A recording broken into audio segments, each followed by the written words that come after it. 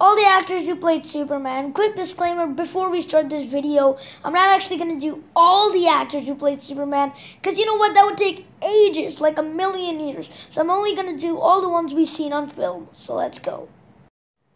Alright, so first we have Christopher Reeve, who played Superman in the first uh, Superman 1, Superman 2, and Superman 3.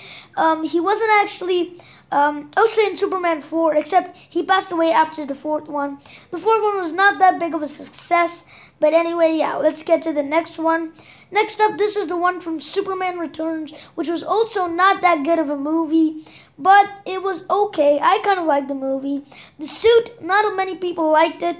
Um, I actually do like it. I like the way that they made a belt with the uh, logo on there. It actually really, I actually did like the Superman, but not many people did and the most favorite Superman ever, and the latest one from I don't really know his name, but Superman here in he was in Man of Steel and in Batman vs Superman, and he was not in the trailer, but he is gonna be also in Justice League, which I can really not wait for. So yeah, this is awesome. So yeah, let's go.